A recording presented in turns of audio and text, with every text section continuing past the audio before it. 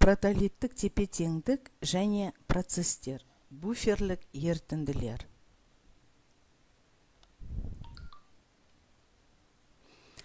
Биологиялық сұйықтықтар үшін pH мәндерінің тұрақтылығы тән болады.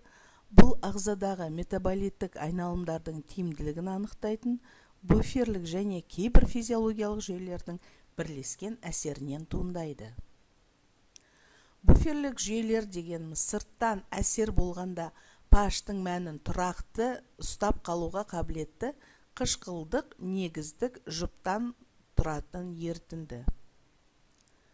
Буферлік жүйелердің жіктелуі. Буферлік жүйелер әлсіз қышқыл мен сол әлсіз қышқылдың күшті негізбен әрекеттескендегі туған тұзынан тұрады. Немесе әлсіз негізбен сол әлсіз негіздің күшті қышқылмен әрекеттескендегі туған тұзынан тұрады. Мұнда ағзаның буферлік жүйелері берілген. Бұл жердегі гидрокарбонатты фосфатты нәрозды гемоглобинді оксигемоглобинді осы буферлік жүйелердің барлығы қышқылдық буферлік жүйелерге жатады ал аммиакты буферлік жүйе негіздік буферлік жүйе болып табылады. Буферлік ерітінділердің ph-ын есептеу үшін гендерсон гассельбах теңдеуі қолданылады. Мұнда буферлік жертінділердің пашын есептеу үшін гендерсон гассельбахтың теңдеулері берілген. Қышқылдық буферлер үшін не мына теңдеумен бірінші сутек иондарын есептеп артынан оны логарифмдеу арқылы пашты тапсақ болады не болмаса ә, бірден пашты есептейтін формула. Мынау сілтілік буферлер үшін. Мұнда есеп берілген негіздік буферлік ерітіндінің пашын есептеу үшін. Яғни 20 мл аммоний гидроксидінің 0,2 малярлық ерітіндісін 50 мл аммоний хлоридінің 0,01 малярлық ерітіндісімен араластырған кездегі пайда болған буферлік ерітіндінің пашын және ерітіндегі сутек иондарының концентрациясын есептеуіміз керек.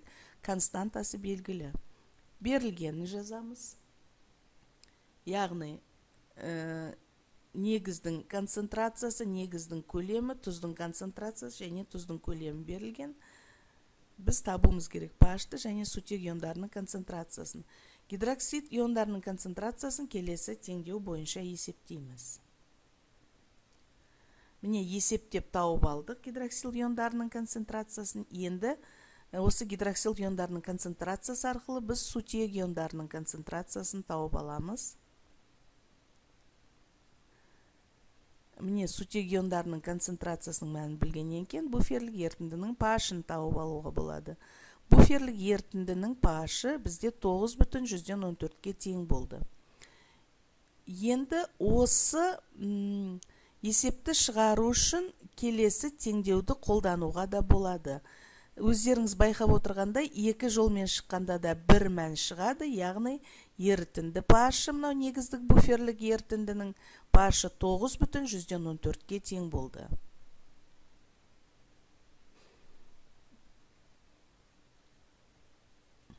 Мұнда қанның буферлік жүйелері келтірілген. Қанның буферлік жүйелері гидрокарбонатты фосфатты гемоглобинді оксигемоглобинді және ақуызды немесе нәруызды деп атаймыз.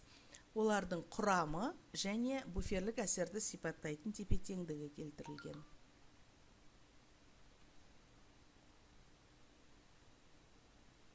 Енді буферлік жүйелердің ерітінділердің әсер етуінің жалпы механизміне келетін болсақ мәселен біз күшті қышқыл қосқанда мысалы аш хлор қостық дейік. Сол күшті қышқыл қосқанда бұл буферлік жүйенің мынау қабысқан негіздің рөлін атқаратын яғни тұз осы күшті қышқылмен әрекеттеседі да бізде әлсіз қышқыл түзіледі. Ал күшті негіз қосатын болсақ мысалы күшті негізге натрий OH-ты мысалға алатын болсақ күшті негізбен осы буферлік жүйедегі әлсіз қышқыл әрекеттеседі да нәтижесінде ә, диссоциациялану төмен яғни әлсіз электролит болып табылатын су түзіледі.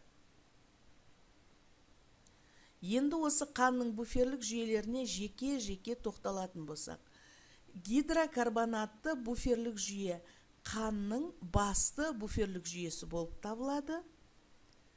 Міне бұл гидрокарбонатты буферлік жүйе мынау әлсіз қышқыл мен сол әлсіз қышқылдың күшті негізбен әрекеттескендегі туындаған тұзынан тұрады. Мына жерде осы гидрокарбонатты буферлік жүйеге күшті қышқыл немесе күшті негіз қосқандағы жүретін реакциясы келтірілген. Бұл жалпы гидрокарбонатты буферлік жүйе қанның қышқылдық негіздік резервін сипаттайды қан плазмасында және эритроциттерде әсер етеді тыныс алуды реттеуде маңызды роль атқарады. Осы жүйеге күшті қышқыл қосқан кезде сутек иондары тұз аниондарымен әрекеттесіп нашар диссоциацияланатын көмір қышқылын түзеді. Нәтижесінде күшті қышқылға эквивалентті мөлшерде әлсіз қышқыл түзіледі. Яғни осы көмір қышқылы. Көмір қышқылының концентрациясы көбейеді де диссоциациялану дәрежесі төмендейді. Сондықтан паштың мәні өзгеріссіз қалады. Сілті қосқанда гидроксил иондар көмір қышқылының сутек иондарымен әрекеттесіп нәтижесінде сілті эквивалентті сілтіге эквивалентті мөлшерде ерітіндінің пашының мәнін өзгертпейтін әлсіз қышқылдың тұзына ауысады. Гемоглобинді буферлік жүйе. Гемоглобинді буферлік жүйе неден тұрады? Гемоглобинді буферлік жүйе гемоглобин және сол гемоглобиннің тұзынан тұрады. Гемоглобин бұл жерде протондардың доноры болып табылады яғни әлсіз органикалық қышқыл ретінде қарастырамыз. Ал гемоглобиннің тұзы бұл қабысқан негіздің рөлін атқарады яғни протондардың акцепторы міне осы гемоглобинді және оксигемоглобинді буферлік жүйелерге әлсіз күшті қышқыл не күшті негіз қосқан кезде жүретін реакциялар мұнда келтірілген. Жалпы гемоглобинді оксигемоглобинді буферлік жүйе жалпы алғанда қанның буферлік сыйымдылығының 75 пайызын құрайды.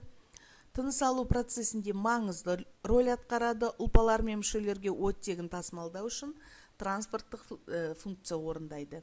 Және эритроциттер ішінде жалпы қанда паш тұрақтылығын сақтауға қатысады.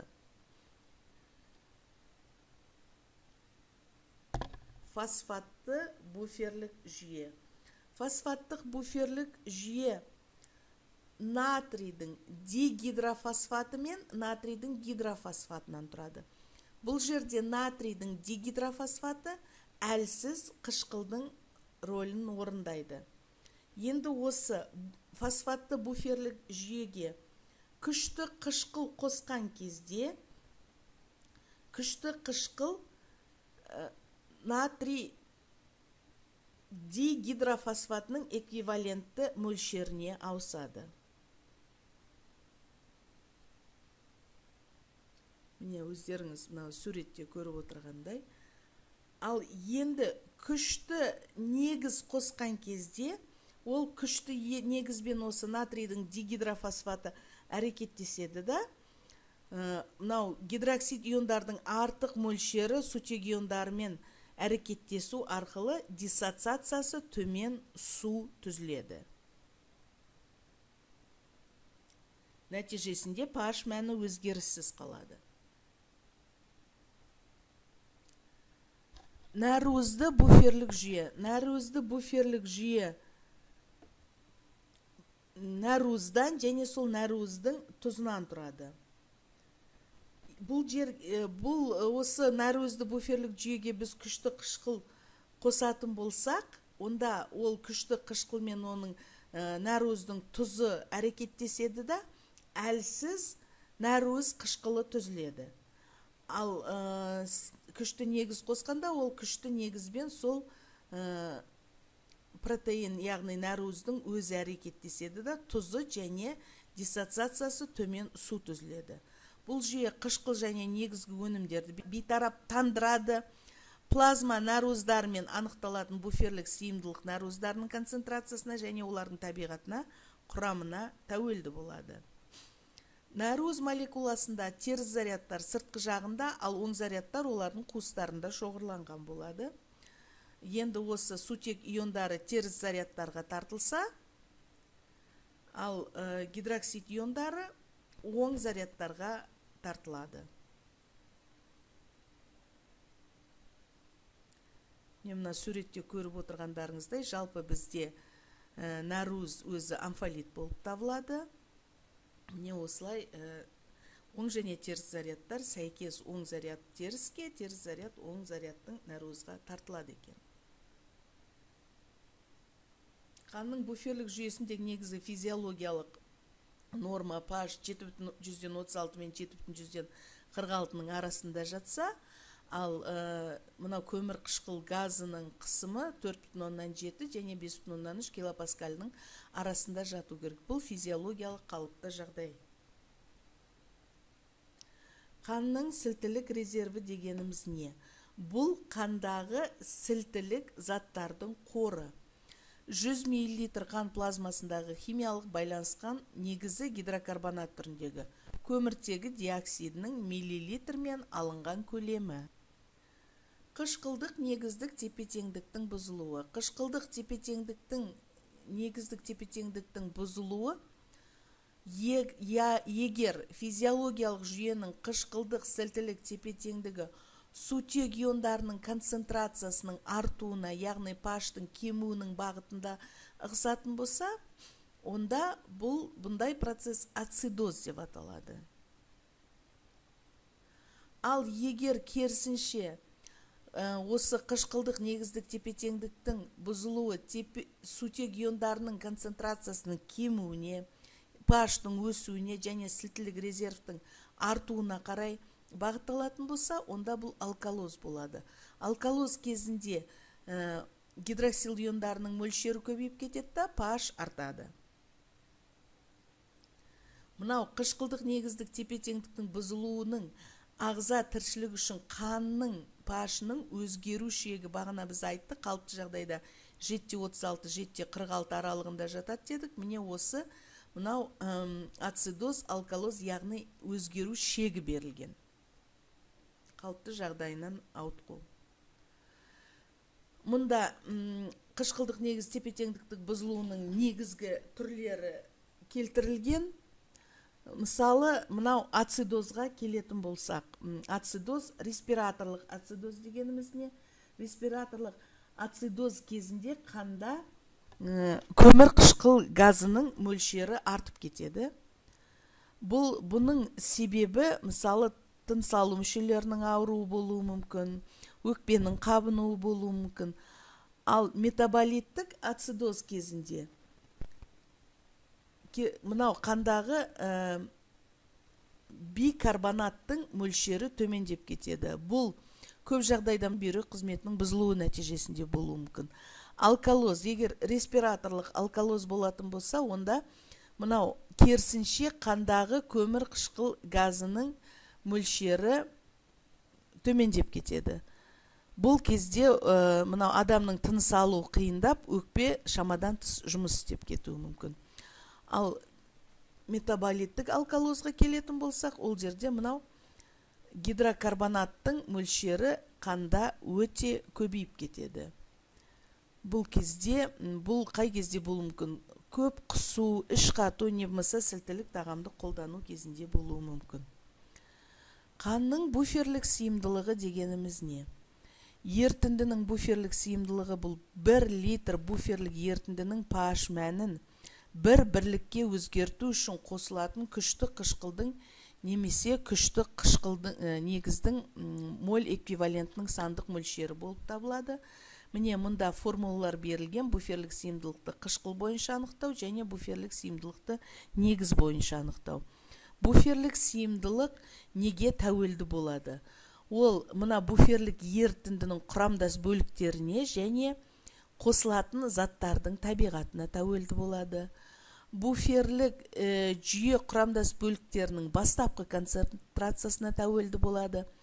Яғни мынау қышқылдық негіздік жұптың ә, құрамдас бөліктерінің мөлшері ерітіндіде неғұрлым көп болса буферлік сыйымдылық соғұрлым жоғары болады. Және буферлік ерітіндінің құрамдас бөліктерінің концентрациясының қатынасына да тәуелді болады. Демек паш мәніне де тәуелді болады. Мұнда есеп берілген. Бұл жерде біз қышқыл бойынша буферлік ерітіндінің буферлік сыйымдылығын есептеуге мысал келтірдік. Яғни паштың мәнін өзгерту үшін 100 мл қанға 18 мл қышқыл қосамыз 0,1 нормальды концентрациядағы. Енді осы қанның буферлік сыйымдылығын есептейміз. Та қышқылдың концентрациясы берілген қышқылдың көлемі берілген ә, паштың өзгеруі берілген және ә, табуымыз керек біз буферлік сыйымдылықты буферлік сыйымдылықты есептеуге арналған өрнекті, өрнекті жазамыз. Мынау буфердің көлемі деп тұрған бұл жерде бізде буфердің рөлін атқарып тұрған қан. Яғни міне мұнда біз миллилитрді литрге айналдырмаған себебіміз негізі біз миллилитрді литрге айналдырамыз. Алымында да бөлімінде де миллилитр болғандықтан ол қысқарып кетеді. Міне сонда бізде ә, 0 бүтін жүзден бес моль бөлінген литр. Оны біз миллимольге айналдыратын болсақ 50 миллимоль бір литрде. Яғни мынау буферлік сыйымдылығы 50 миллимоль бөлінген литр болады. Міне осымен дәріс аяқталды. Тыңдағандарыңызға рахмет.